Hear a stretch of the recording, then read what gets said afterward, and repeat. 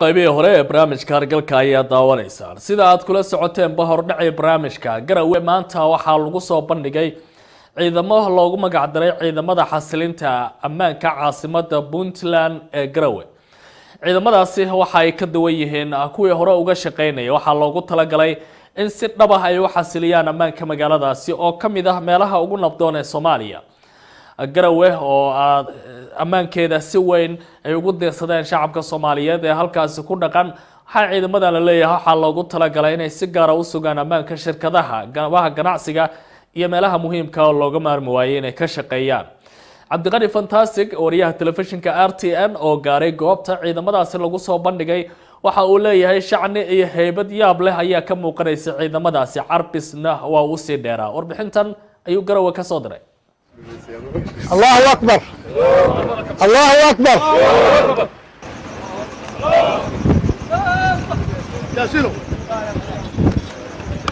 xabad waa mamnuuc xabad lama ridi karo hargal wanaagsan ee daawadayaal kusoo dhawaaday hargalka oo idinkaga imanaya magaalada garowe caasimada puntland maanta magaalada garowe guud ahaan nabadgelyada iyo dhinac walba aad bay u kala degan tahay sidii loogu talagalay ayaa wax kastaana u socda hargalka maanta magaalada garowe waxaan ku soo qaadanaynaa saaka waxaa magaalada garowe caasimada puntland ee lagu diyaariyay ciidamo loogu talagalay inay sugaan amniga iyo sidoo kale hagaajinta caasimada puntland garowe waxaana ka qayb galay goobta ciidamada lagu soo bandhigayay lagu diyaarinayey ugu horreyn wasiirka wasaaradda.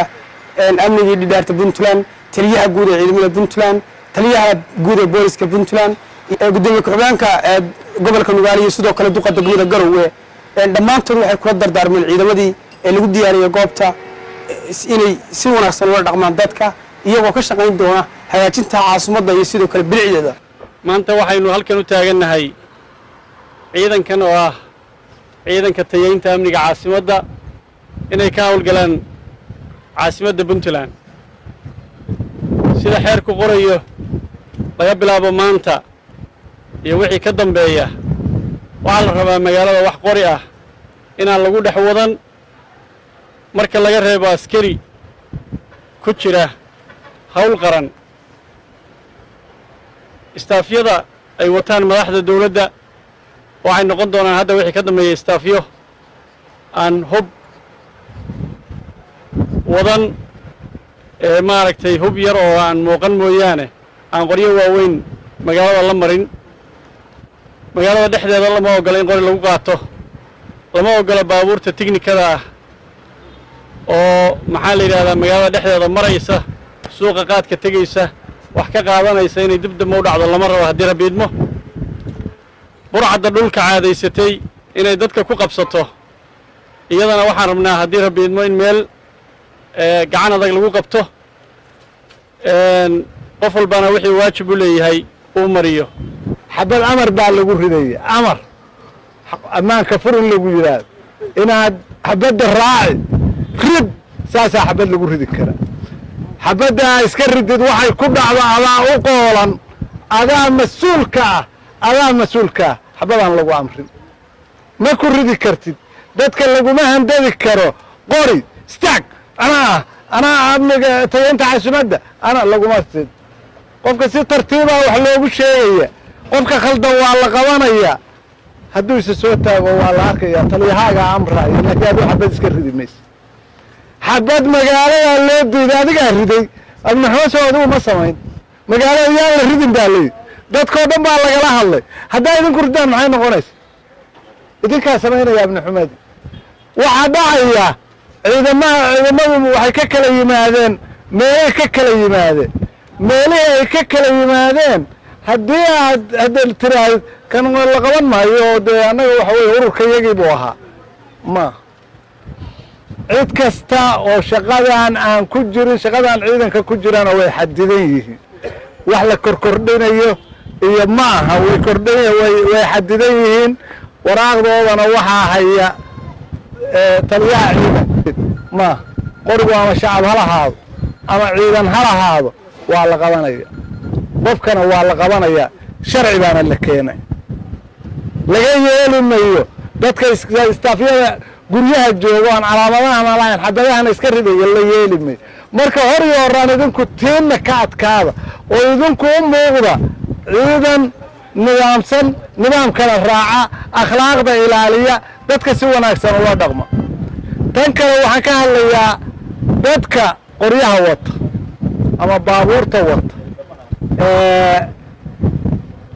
Lama ogolaanayo qori sharci darro ciidankaa doontay ahow magaalada lagu marayo lama ogola marka laga reebo ciidanka shaqada ku jira. Ninka mas'uul la socdaa hadduu mas'uulkii saaran yahay gaariga waa gaar. Laakiin haddaan mas'uulkii la socon ee intuu guriga tago soo aado halkaa meesha qayilaadda soo aado waa la qabanaya. Waa dembiile tuuta xataa in lagu soo aado mamnuuc wey tuuta in lagu soo aado oo suuq lagu soo aado oo meel lala fadhiista qayilaad mamnuuc wey waxay ka mid tahay amni xumada waxyaabaha len. Salaan kadib haddee waad u jeedaan inuu maanta hadalkan waxaynu isugu nimi baahi weyn oo aynu u qabno inaynu magaaladeenna quruxsanno. Tayaynta amniga magaaladu waa magaalada qurxinteeda. Magaaladasani waa munaaraddii ama wejigii puntland weeye inay quruxsan tahay oo amni tahay oo nidaam lagu kala socdo waa lagama maarmaan. Haddaynu rabno inay caasimadii noo ahaato. Taasaa keentay baahida maanta halkaan intiina to in kiina isugu yeero oo aada hawshaa ka qayb gashaanin laba qodob un baan rabaa inaan iftiimiyo. Waa marka hore ee ciidankan waxaa weeye ciidanka tayaynta amniga caasimadda puntland waa ciidan laga soo xulay colalka ciidamada. Loo arkay inay yihiin ciidankii ugu habboonaa iyaga iyo saraakiisha wata. Waxaanu ka rajaynaynaa hadduu ilaahay idmo ciidankaas sida loo soo xulay iyaga iyo saraakiisha wataba inay u gudan doonaan waajibaadkooda loo xushay. Waxaanu rajaynaynaa hadduu ilaahay inay noqdaan ciidamo ku guulaysta bilad sharaf guulaysta dallacsiin ciidamo ku guulaysta in la wanaajiyo oo la karaameeyo. Waa rajaynaynaa hadduu ilaahay hawshaa loo igmadayna aysan cidna ugu turin.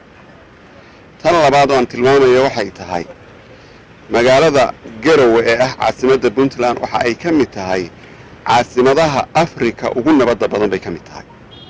Laakiin innaga oo mas'uuliyiintii ah iyo shacabkii magaalada ku dhaqnaa iyo ciidamadiibaa waxaanu u muujinnay inay magaaladii tahay magaalo aan nabadgelyo ahayn.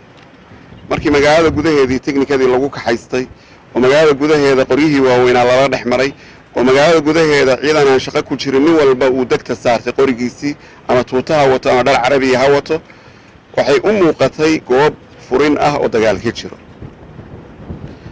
Waxaan rabnaa marka magaaladu waxa ay mudan tahay iyo maqaamka ay leedahay inaynu muujinno magaaladu waa nabad dalku waa nabad garowe waa nabad caasimadaha afrika ugu nabadda badan bay ka mid tahay. Soomaaliyana waxay ku jirtaa haddaysan magaalada koowaad ahayn magaalooyinka ugu horreeya ugu nabadda badan. Ciidamadan lagu diyaariyey dhowr jeer hore waxaa sidoo kale loo diyaariyey ciidamo dhowr oo loogu magac diray xasilinta caasimadda. Balse ilaahay hadda lama oga meeshay ku dambeeyeen. Ciidamadan waxay ku soo beegmayaan iyadoo la filayo inuu toddobiyo tobanka ilaa shan iyo tobanka bishan uu furmo shirkii maalgashiga puntland oo ka furmaya magaalada garowe caasimadda puntland barnaamijkii hargalka idinka kamanay garowe waxay la socodsiinayaan igu cabdiqani axmed maxamed. Fantastiga intaynu barnaamijkan midka xiga ku kulmano hargal wanaagsan ayaada leeyahay